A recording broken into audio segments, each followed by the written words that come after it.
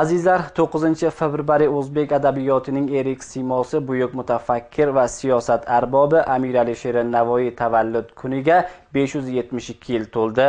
Ko'rsatuv orqali siz azizlarni ushbu muborak sana bilan tabriklayman. Sizga ma'lumki hazrat alisher navoiy bundan 572 yil oldin temuriylarning ikkinchi poytaxti herotda dunyoga kelgan edi. Herot samarqand va xurasonning boshqa shaharlarida ta'lim olgan nizomiddin alisher navoiy sulton husayn boyqaro davrida hokimiyatning erik siymolaridan biriga aylandi. Navoiy o'z davrida katta obodonchilik ishlarini amalga oshirgan.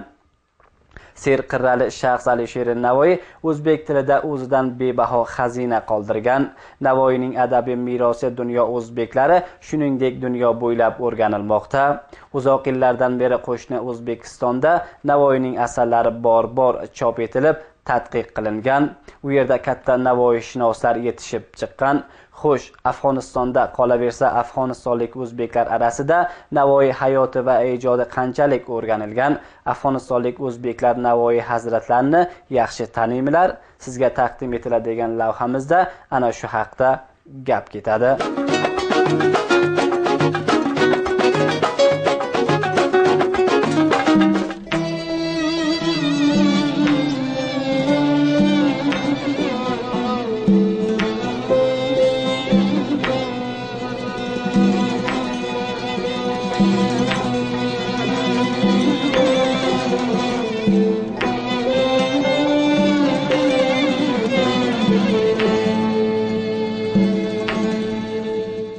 Bundan 572 yil oldin temuriylarning ikkinchi poytaxti herot shahrida dunyoga kelgan o'zbek adabiyotining erik siymosi siyosat arbobi hazrat amir alisher navoiy o'zining o'lmas asarlari bilan dunyo bo'ylab shuhrat qozongan. Navoiyning qator asarlari dunyoning ayrim tillariga tarjima qilingan lekin haligacha ham navoiy va uning asarlari afg'onistonda qolaversa afg'onistonlik o'zbeklar jamoasida o'rganilmaganligi aytiladi. Shoir yozuvchi ustoz muhammad rahim ibrohim hazrat navoiyning tavallud kuni nishonlanishidan tashqari uning asarlari qayta qayta chop etilib tarqatib berilishi borasida ta'kidlaydi. Suhbatdosh hazrat navoiyning yaratgan asarlarida uning dunyo qarashi o'rganilishini tilga oladi. Navoiyni har el uni tug'ilish yilini jashn oladilar har nima qiladilar. Meni bir e'tirozim bor shu tug'ilish jashn olish e, jarayoniga bunda ko'pincha tug'ilish jarayonini ko'p mahdud qiladilar. Masalan navoiy falon joyga tug'ildi falon joyga yashadi va faloncha asarlar bitadi. Yo navoiy falon millatga mansub. Ammo menimcha ko'proq bulardan ko'ra ko'proq muhimroq uki navoiyni fikrini biz topsak. Navoiy masalan biz aytamizki navoiy o'ttiz ikki asar bitgan. Shu o'ttiz ikki asarga navoiyni nima gaplari bor? Navoiyni bir millatga mahdud bo'lardi sohasidan boy chiqarsak. Navoiyni umum insoniyat shoiri deb ma'rifa qilish kerak. Ko'pincha meni e'tirozim bor shu mahfilni shunday mahfillarga maqolalar o'qiladi hammasi. Biografik bir maqolalar. Yo ko'pincha bir bayt ikki bayt bu falon baytga aytilgan bu falon baytga aytilgan bu kitob u kitob bilan muqoyisa bo'ladi. Bular ham durust. Ammo meni hadafim shu. O'zim mm, bilumum shu ishni nima qilganmanki har kimni nima qilsam ham tavalludiga qayerga yashashiga ishim yo'q. Faqat o'yloviga ishim borki shu odam nima debdi nima andishasi bor. O'zining samarali hayoti davrida o'ttizdan ortiq mangu asar qoldirgan hazrat navoiy bugun afg'onistonlik o'zbek yoshlari uchun notanish afg'onistonlik o'zbek yoshlar navoiy hazratlarining faqat herot shahrida dunyoga kelib sulton husayn boyqaro zamonida uning vaziri o'laroq xizmat qilganligidan tashqari hech narsa bilmaydilar. Foryoblik shoir va yozuvchi doktor abdusabur narimon afg'oniston o'zbek yoshlari navoiyni tanish hamda uning ijodini o'rganish uchun sa'y harakat olib borishlari borasida gapiradi. Men bir mavzuda ko'proq taassufim bor ki e, navoiy sohibning e, to'g'risida e, yosh farhanglar va yosh odamlar faqat otini biladilar va necha kitobini va buni afkoriga buni e, navoiy sohibni afkori so'zlari va e, jahonshumul asarlarini e, bilish va uni umqiga kirish mavzusida uncha ish bo'lmagan va uncha meni rozi emasman. Navoiy sohib ko'p bir vasiy shaklida kitoblarida asarlarida va hatto o'sha o'zorat paytida e, ko'p vasiy shaklda ishlagan. Mana shu ishlar shu amallar e, mana bir e, musbat amal jamoaga ma'rifiy bo'lishi kerak. Ayrim shaxslar hazrat navoiyning erk donishmand hamda yutuq shoir bo'lishi bilan birga haligacha ham dunyoning boshqa mutafakkir va donishmandlari kabi yetarli darajada tanitilmaganligini aytadilar.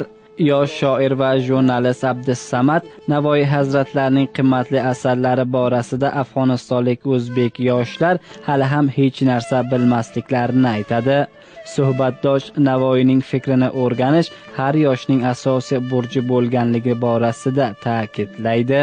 Bobomiz hazrat navoiy e, biz yosh yigitlarda ortodoks shakliga ma'rifiy bo'lib qolgan va hamma harakatlik navoiy va boshqa e, buyuklarimiz haqqiga e, e, yo'lga olinib borinadi ya'ni mahfillar e'tifollar tajlili shakliga olib borinadi hammasi ortodoksiy shakliga. Ya'ni bizlar navoiy bobomiz va boshqa kattalarimizni free ortodoks shakliga tonimaganmiz. Xohlayman nima desam hazrat navoiy E, bir e, bir yaxlagan yaxday bizlarga tonittirilgan bizlar yosh yigitlar va boshqa e, har bir odamki insoniy o'ylasa ya'ni navoiydan foydalansa bu yaxni yezib yeritib ichish kerak. Ya'ni E, e, hozir bizlar e, navoiy bobomni agar bir